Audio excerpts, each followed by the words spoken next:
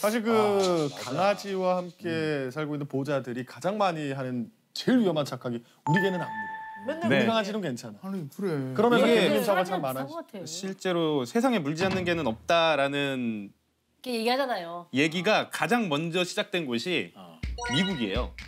미국 우체국에서 네. 이 포스터를 만들어서 붙이기 시작했어요. 그래요. 그러니까 미국은 더 위험하겠죠. 이게 네네네. 마당에서 강아지들이 놀고 있는 경우도 대형 많고 큰 개도 많으니까. 많은데 우체부 분들이 많이 다치는 거예요. 맞아 맞아. 낯선 사람이니까 네. 와서 그래서 이게 시작이 됐는데 사실 저는 그렇거든요. 이 많은 분들이 되게 오해하고 있는 게 아무리 착한 개들도 극한 상황에서는 그렇지. 물수 있어요. 아, 맞아요. 본능이 우리도- 나올 수 있으니까. 그리고 우리 사람들은 그렇잖아요. 진짜 착한 사람들도 아플 때 음. 스트레스 받았을 그렇죠. 때 예민해지고 맞아요. 강아지들은 아프면 참는단 말이에요. 그렇지 그렇지. 그러다 보니까 아무리 착하던 아이들도 음. 극한 상황에서는 공격성을 내, 내비칠 수 있다라는 걸 보호자들이 알고 있어야 돼. 그렇지. 맹견으로 지정된 것들이 확실히 있는 거죠. 네, 그 종류 지금 중에서. 5종이 있어요 우리나라에서는 네네네네. 뭐 로트와일러, 핏불, 뭐 스태퍼드셔 테리어 뭐 이렇게 해서 그들의 뭐 네네네. 잡종 해당하는 5종이 있고요. 네. 그 5종에 들어간 개들은 무조건 입마개를 해야 돼요. 특히나 주인한테 공격하고 막.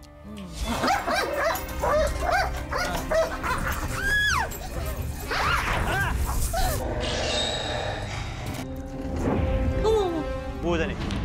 근데 저도 밤에 이렇게 산책하다 보면 입막이 안 하고 큰 개들 이렇게 오시는 분들 아, 있어요, 있거든요. 있어요, 맞아요. 완전 밤에 사람 거의 없으니까.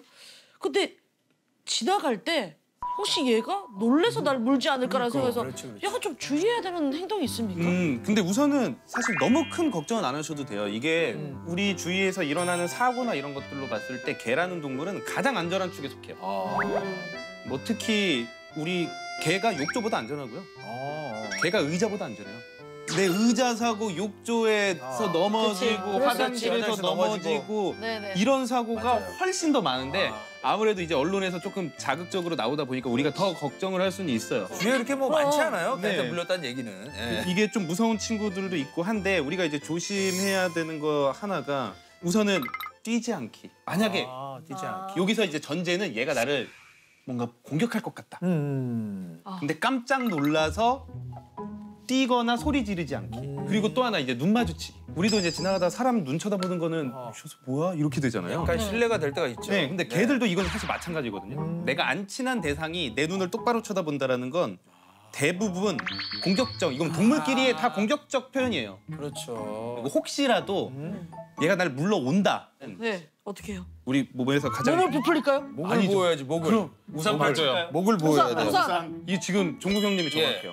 목을 보호하고 이렇게 깍지를 끼고 죄송한데 이 자세가 안 되거든요 저는. 아 어떻게 하죠? 아, 그냥 그냥- 그러면 그냥 이구밖에 못 봐. 그냥 가드를 올려 가드. 여기가 그냥 싸우셔도 돼요.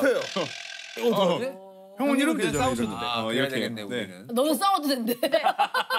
개도 야 개도 사람 보지. 종국이 보면 쓱 뒷걸음질 근데 치지. 이 강아지가 오면 목을 보호해라. 네, 그죠? 그리고 이렇게 군뱅이 자세. 목을 무나요. 웅크리고. 네, 웅크려 버리면 아주 위험한 곳은 다치지 않아.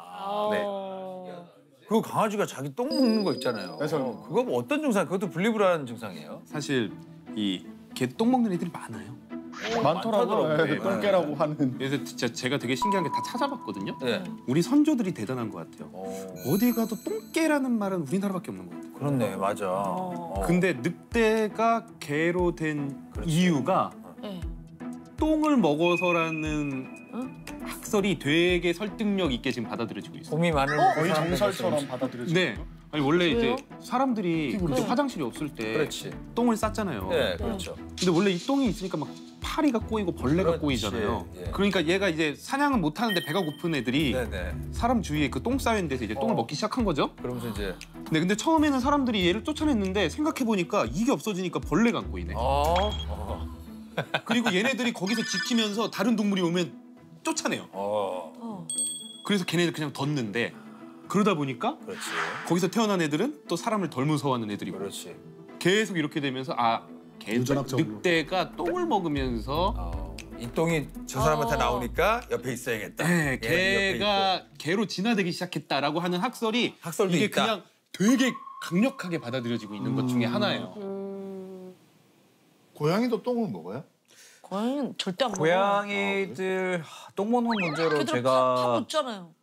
아, 못 본 것 같아요. 이거는 고양이가 똥을 먹는 것보다 개랑 고양이를 같이 키우시는 분들이 개가 그 고양이 똥을 많이 먹어요. 똥산이라고. 아, 고양이 똥을 똥산이라고 우리가 표현을 하거든요. 소변을 감자라고 하고. 아니, 이게 똥을 싸면 고양이 모래에 묻으면 똥산이랑 똑같이 생겼어요. 아, 아, 아. 네, 근데 이제 개들이 같이 먹어요 모래도. 그 땅콩으로 버무린 튀긴 과자 같은 어, 느낌이 나는 네. 게다가 고양이 사료가 고단백의 지방 함량이 높으니까 그래요. 다른 개 똥보다는 고양이 똥이 더 맛있는 거예요. 고소한 거. 훨씬 더 스낵이네. 스낵이야 스낵. 네, 완전 별미. 어, 별미네, 별미. 개 똥은 그냥 삶은 수육이면 이거는 완전 그냥 탕수육. 와 비유 좋다. 불법 번식장에 가셨다가 너무 충격을 많이 먹으셨다고. 근데 진짜 죄송한데요. 불법 번식장이 뭐예요? 강아지를 공장처럼 만드는 것이라고 보시면 돼요. 근데 이제 모든 곳이 그렇지 그렇다라고 제가 뭐 다 가보지 않았기 때문에 말을 할 수 없지만 제가 갔다 온 모든 불법 번식장들은 진짜 지옥 같은 곳이에요. 제일 충격적인 게 뭐예요? 어, 우선 제일 충격적인 건 얘네가 이제 뜬장이라는 곳에 살아요. 뜬장마다 관리가 안 된 강아지들이 서너 마리씩 갇혀 있고 바닥엔 배설물 등 오물이 가득합니다. 악취가 심해 숨쉬기조차 어려울 정도입니다. 거기에 이제 똥이랑 오줌이 있잖아요. 근데 저희는 알잖아요. 수의사들이니까 저희 꺼내서 보고 하면 근데 개뼈들이 떨어져 있어요. 뭐야? 아, 왜? 뭐야? 그대로 죽어. 어? 먹이로 주는 거야? 거기서 죽은 애들 막 먹이로 주고 그러는 거예요. 어머, 어 미쳤어. 그럼 거기 애들은 다 사료도 안 먹거든요. 음식물 쓰레기 아 그래요? 이런 것들 아, 사료가 아니고 네, 비싸니까. 되게 신기한 게 뭔지 아세요? 어. 닭농장, 소농장, 돼지농장들은 키워서 팔아야 돼요. 그렇지 그렇지 그렇지. 잘 키워서 팔아야지 돈을 많이 벌어요. 그러니까 사료도 잘 먹이고. 그렇죠. 근데 여기는 어떤 애들을 파는 곳이에요? 새끼만 나오는 새끼를 파는 곳이에요. 잘 먹일 필요가 없어요. 아, 진짜 나쁘다. 그냥 태어난 애들을 어. 그 중에서 살아남은 아이들을 팔면 되는 것이고.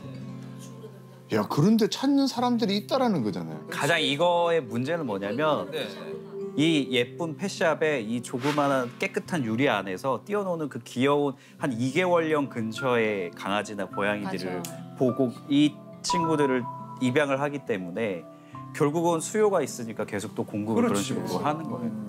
우리나라 문화가 가장 지금 잘못된 건 민법상 동물이 물건으로 되어 있기 아. 때문이에요. 그러다 보니까 너무 쉽게 사고 팔 수 있고요. 아, 강아지. 번식장의 규제도 음, 그렇게 열악. 까다롭지 않아요. 아, 네. 뭐한 명당 50마리를 관리한다. 이건 말이 안 되는 얘기인데 그런 식으로 돼 있다 보니까 그 안에 있는 아이들은 그냥 새끼 빼는 기계처럼 어, 나 처음 들었어. 아. 많이 있죠. 저도 더 많이 알려야 된다라고 하는 게 이제 처음 저 처음 들어보신 진짜 처음 얘기고. 이제 저도 몰랐어요. 네, 아직도 많이. 그러시기 때문에 아직 멀었죠. 더 저나 뭐 우리 김명철 수의사 선생님이나 같이 좀 더 알리고 많은 분들이 더 알아야지만 네. 더 좋아질 거라고 생각합니다.